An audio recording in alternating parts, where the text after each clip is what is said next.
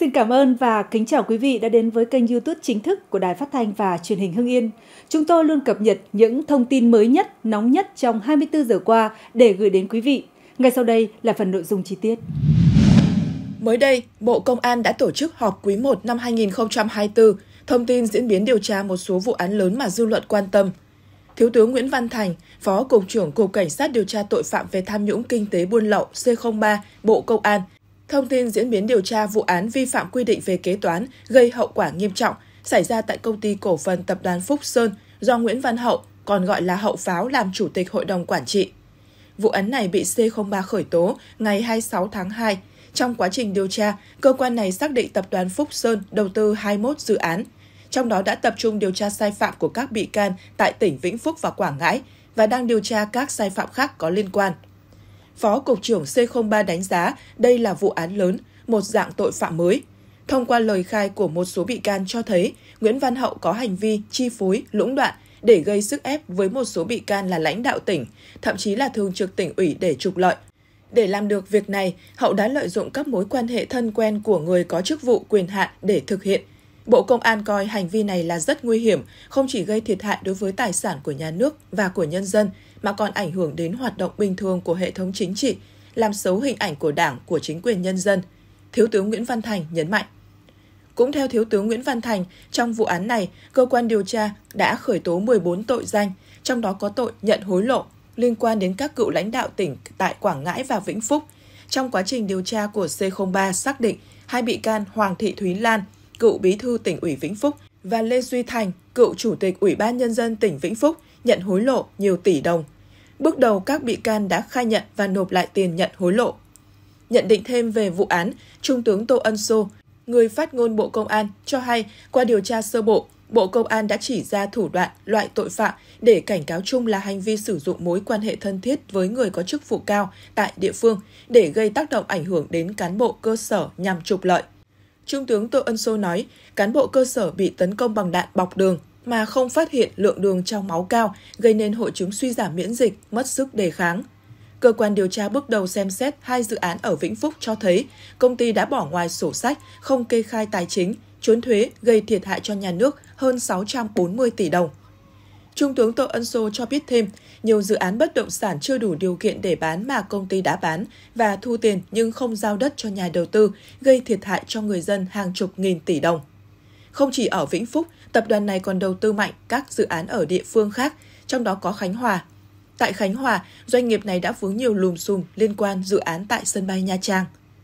Ngoài kết luận từ thanh tra chính phủ, theo kết luận của Ủy ban Kiểm tra Trung ương, tỉnh Khánh Hòa cũng đã thông báo công ty Phúc Sơn phải nộp gần 12.000 tỷ đồng nhằm khắc phục sai phạm về việc giao đất dự án tại sân bay Nha Trang nhưng doanh nghiệp chưa nộp. Cơ quan Cảnh sát điều tra Bộ Công an cho biết hiện đang củng cố tài liệu, chứng cứ đối với sai phạm của các bị can đã khởi tố trong vụ án xảy ra tại tập đoàn Phúc Sơn. Đồng thời, tiếp tục mở rộng điều tra vụ án, làm rõ các sai phạm khác của tập đoàn Phúc Sơn tại các địa phương và các đơn vị có liên quan, áp dụng các biện pháp theo quy định của pháp luật để thu hồi triệt để tài sản cho nhà nước. Cơ quan Cảnh sát điều tra Bộ Công an kêu gọi các đối tượng có liên quan trong vụ án này khẩn trương đầu thú, tố giác tội phạm và khắc phục hậu quả để được hưởng chính sách khoan hồng của pháp luật.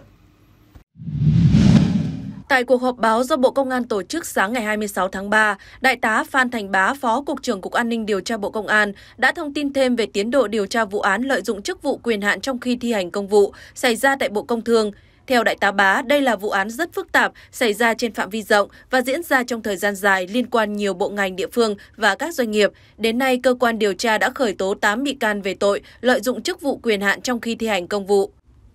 Theo lãnh đạo Cục A09, kết quả điều tra bước đầu xác định các bị can đã có sai phạm trong tham mưu cho Thủ tướng Chính phủ ban hành quy định về diện đối tượng và điều kiện thừa hưởng chính sách giá điện ưu đãi, trái nghị quyết, chỉ đạo của Chính phủ. Đại tá Bá cho biết thêm, các bị can cũng có sai phạm trong việc thẩm định, cấp giấy phép hoạt động điện lực và công nhận ngày vận hành thương mại cho một số dự án điện mặt trời trái quy định pháp luật, gây thiệt hại hàng trăm tỷ đồng cho Tập đoàn Điện lực Việt Nam. Lãnh đạo Cục A09 cho hay, vụ án này đã được Ban chỉ đạo Trung ương về phòng chống tham nhũng tiêu cực đưa vào diện theo dõi chỉ đạo. Liên quan đến vụ án này, ngày 2 tháng 1 năm 2024, Cơ quan An ninh Điều tra Bộ Công an đã khởi tố bị can bắt tạm giam đối với cựu Thứ trưởng Bộ Công Thương Hoàng Quốc Vượng về tội lợi dụng chức vụ quyền hạn trong khi thi hành công vụ, quy định tại Điều 356 Bộ Luật Hình sự. Ngày 4 tháng 1, Trung tướng Tô Ân Sô, người phát ngôn Bộ Công an cho biết, Cơ quan An ninh Điều tra Bộ Công an đã mở rộng điều tra vụ án lợi dụng chức vụ quyền hạn trong khi thi hành công vụ xảy ra tại Bộ Công Thương và các tỉnh, thành phố. Trước đó, hồi tháng 11 năm 2023, Cơ quan An ninh Điều tra Bộ Công an đã khởi tố 6 bị can để điều tra tội lợi dụng chức vụ quyền hạn trong khi thi hành công vụ. Trong đó, hai cán bộ của Cục Điều tiết Điện lực bị bắt gồm Trần Quốc Hùng, Phó trưởng phòng cấp phép và quan hệ công chúng Cục Điều tiết Điện lực Bộ Công Thương, Trịnh Văn Đoàn, chuyên viên phòng cấp phép và quan hệ công chúng Cục Điều tiết Điện lực, Bốn người bị bắt là cán bộ của Tập đoàn Điện lực gồm Nguyễn Danh Sơn, Giám đốc công ty mua bán điện thuộc Tập đoàn Điện lực Việt Nam, Nguyễn Hữu Khải, trưởng phòng kinh doanh mua điện công ty mua bán điện, Đỗ Ngọc Tuyền, chuyên viên của phòng này, Trương Hoàng Dũng, chuyên viên phòng kỹ thuật và công nghệ thông tin, công ty mua bán điện. Thông tin tại họp báo Bộ Công an sáng ngày 26 tháng 3, Trung tướng Tô Ân Sô, người phát ngôn Bộ Công an cho biết, cơ quan cảnh sát điều tra đã khởi tố bị can, bắt tạm giam ông Nguyễn Ngọc Thủy, chủ tịch công ty giáo dục E Group tức Xác Thủy, Đặng Văn Hiền, trưởng ban quan hệ cổ đông công ty E-Game về tội lừa đảo chiếm đoạt tài sản. Nguyễn Ngọc Thủy, sinh năm 1982 tại Hà Nội, là chủ tịch tập đoàn E-Group và hiện là tổng giám đốc công ty cổ phần Anh ngữ APAT. Ông được nhiều người biết đến là doanh nhân từng bỏ ngang đại học và xây dựng được tập đoàn nghìn tỷ từ hai bàn tay trắng. Sát Thủy là một trong những khách mời quyền lực trong chương trình Thương vụ bạc tỷ Sát Tanh Việt Nam với vai trò là nhà đầu tư chính. Sát Thủy được biết đến là nhà sáng lập kiêm chủ tịch hội đồng quản trị, tổng giám đốc tập đoàn E Group, chủ tịch hội đồng quản trị công ty cổ phần Anh ngữ APAT. Đến năm 2023, Sắc Thủy bất ngờ bị nhiều người tố cáo lừa đảo chiếm đoạt hàng nghìn tỷ đồng thông qua các loại hợp đồng dưới hình thức tiền gửi. Bên cạnh đó, nhiều phụ huynh cho con theo học tại hệ thống các trung tâm Anh ngữ APAC Leader của ông Thủy cũng phản ánh được yêu cầu đóng tiền học trước. Tuy nhiên, sau một thời gian, các trung tâm đột ngột đóng cửa hoặc chuyển sang giảng dạy online. Nhiều phụ huynh tại thành phố Hồ Chí Minh, Hà Nội, Đắk Lắk, Đà Nẵng khiếu nại chuỗi trung tâm dạy tiếng Anh cho trẻ em APAT Leader thuộc hệ sinh thái e-group của ông Nguyễn Ngọc Thủy vì chất lượng giảng dạy không như cam kết, bỏ rơi khách hàng và yêu cầu hoàn trả học phí. Ngày 26 tháng 3, tại họp báo Bộ Công an, đại diện Cục Cảnh sát Hình sự C02 và Cục An ninh mạng và Phòng chống tội phạm sử dụng công nghệ cao A05 cung cấp thông tin về vụ nữ Chủ tịch Ủy ban Nhân dân huyện Nhân Trạch, Đồng Nai – nghi bị lừa số tiền khoảng 100 tỷ đồng. Đại diện Bộ Công an cho hay, sau khi nhận được tin báo, cơ quan chức năng đã nhanh chóng vào cuộc, tích cực điều tra và hiện nay đã khởi tố điều tra, kết quả sẽ thông tin sau. Ngay sau khi nhận thông tin, đơn vị chức năng của Bộ Công an và địa phương tích cực điều tra khi có kết luận sẽ công bố. Thiếu tướng Tô Cao Lanh, Phó Cục trưởng C02 nói. Trước đó, như đã đưa tin, Chủ tịch Ủy ban Nhân dân huyện Nhân Trạch Nguyễn Thị Giang Hương đã bị lừa đảo chiếm đoạt số tiền khoảng hơn 100 tỷ đồng. Tuy nhiên, con số chính xác đang chờ xác minh thêm.